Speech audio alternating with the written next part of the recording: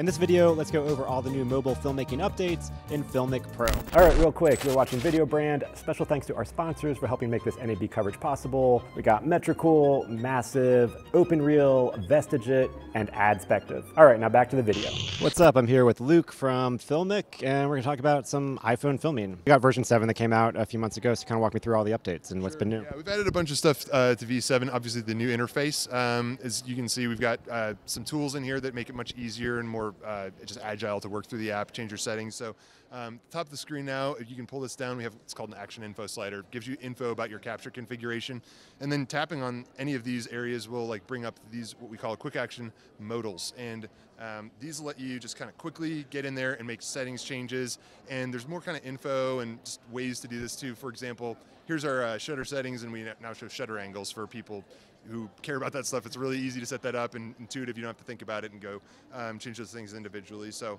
um, that's you know one of the cool things we've added in V7. Um, also, you can kind of see going on right here on the screen. Um, there's touches are being shown on the screen. We add this functionality for educators working in schools and things who are teaching classes, so they can students can follow along, see what the teacher's doing, instructor is doing. Um, so that's really cool. What we're um, really excited to be debuting at NAB this year is we actually uh, have coming uh, in the next few weeks, we will be um, releasing an update that will allow users to import LUTs into Filmic Pro, preview those, and also burn those into their footage. A cool thing kind of that's happened uh, just around the same time as that is uh, Cinematch is released uh, profiles for Filmic Pro's log curve. And so you can now go in Cinematch and create uh, LUTs that will help you match your filmic footage to another camera you might be shooting on, on set. So if you're shooting on set with uh, you know ARRI cameras or Blackmagic cameras, and you want to use uh, you know Filmic Pro as like a, a B cam, um, backup cam, whatever, you can set that up now and make a LUT in Cinematch and load that into Filmic Pro. That's going to output the color science of those different cameras so that they match and work seamlessly in your NLE when you're doing um, color grading work after the fact. And um, also, uh, FilmConvert has uh, added profiles for the iPhone um, for the filmic log curve as well. So right now we're looking at just like a film emulation that I was made a LUT for um, in FilmConvert, and this is uh, just showing a few of the different um, film emulations that you can now load these LUTs in and and preview them in Filmic Pro while you're shooting. Super helpful, so you set your exposure and things correctly for footage that you know you're going to grade uh, with certain LUT after the fact. So, yeah.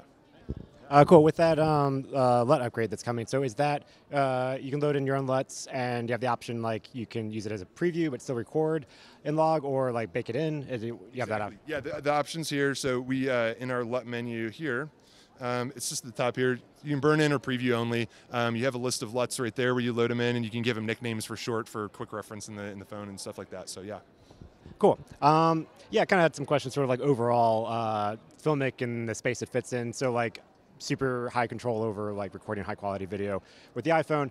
Um, with like Apple's updates, been adding other pro features to like their basic video app, you know, like ProRes filming and stuff. So kind of want to get your view of like where Filmic still like fits in and excels in recording on your iPhone and like versus just using the regular uh, camera app. Yeah, obviously the, the, native camera app looks great, but it doesn't have any of the like manual control that you can get in with Filmic Pro um, in terms of like so setting things very specifically. Uh, you, you, know, exposure, you can do manual exposure, you can do basically everything manual focus, right? But um, shutter speed and um, being able to lock that to shutter angles. That's just not like how the native camera thinks. This is set up to work and work in the workflow of a cinema camera. So um, the tools in here are just really geared towards those people who really want very high control over their camera and just let you do things you just can't do in the native camera. So. And then one thing that I've also really always liked about Filmic was the ability where you have the remote app and you could kind of use a separate device as your monitor, your control device.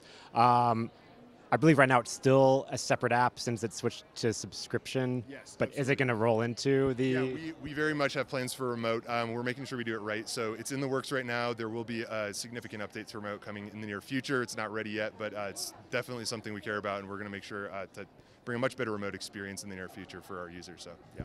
And then would that be sort of just whatever eh, one filmic app like could either be the, the, the main camera or the remote camera. Our plan is to integrate the remote functionality into Filmic Pro itself. So it's going to be almost like a new mode of Filmic Pro rather than its own separate application. So um, that's still in the works and the feature set is still being designed, but um, that's more the vision of where we want to head that, making Filmic Pro more of a self-contained production suite for um, you know film use. So yeah. And another thing, I know you've got the uh, Frame.io camera to cloud integration. Uh, do you see kind of a future of like more integration, like because right now that's transferring the proxies, but then you still got to get your original footage off the phone. Yes. You feel like there's like some cloud workflow where it's like you're getting your original footage yeah, up in the cloud. It's totally possible. When we did our initial integration with Frame.io, um, you know, we really put a lot of time and effort into the performance testing to make sure that what we do is incredibly stable and out in the out in the field. So um, we started with the proxy stuff. That's definitely something that we'd consider doing in the future. We've been focusing on other things at the moment, but uh, it's uh, camera to cloud is something we see has a lot of you know potential in the future of mobile filmmaking, and uh, we'll definitely be looking into making changes and updates to that in the future too. Cool. Well, thanks so much. Absolutely. All right, thanks for watching the video. For more of our NAB videos, be sure to check out our playlist right here, and be sure to hit the subscribe button. Thanks for watching. I'll catch you in the next episode.